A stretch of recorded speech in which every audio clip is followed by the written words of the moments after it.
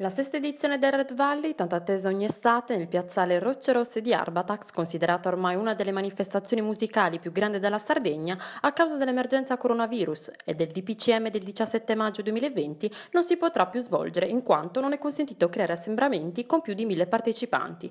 Gli organizzatori però rassicurano che l'evento è solo rimandato per l'estate 2021, nelle date del 13, 14 e 15 agosto, nella stessa location e con la line-up già confermata. Infatti, Infatti, tutti i biglietti già acquistati per quest'anno restano validi per l'anno prossimo, oppure possono essere convertiti in voucher.